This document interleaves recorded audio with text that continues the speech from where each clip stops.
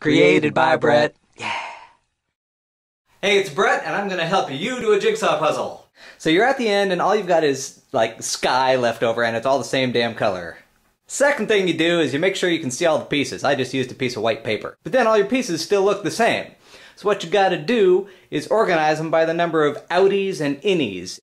There's only six kind of puzzle pieces that you're gonna have in a puzzle. Pieces with nothing sticking out, with one thing sticking out, with two things sticking out next to each other, with two things sticking out across from each other, with three things sticking out, and with four things sticking out, but I don't have any of those in this puzzle.